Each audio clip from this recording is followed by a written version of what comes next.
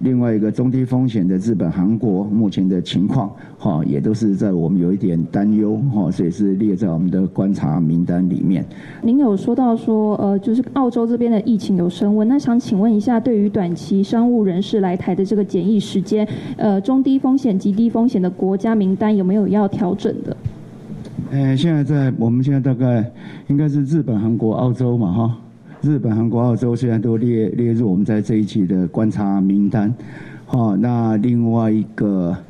应该是斯里兰卡，哈，斯里兰卡跟哦马马来西亚这个在观观察名单里面，那斯里兰卡是准备要让它到低风险嘛？那低风险是澳洲嘛？哈，那澳洲进来也起来哈，那但我们是在维持一个两个礼拜的一个观察期，才来决定我们的相关的一个行动。那至于在，所以另外一个中低风险的日本、韩国目前的情况，哈，也都是在我们有一点担忧，哈，所以是列在我们的观察名单里里面。那斯里兰卡是状况比较好，好，那可能会从中低风险升到低风险。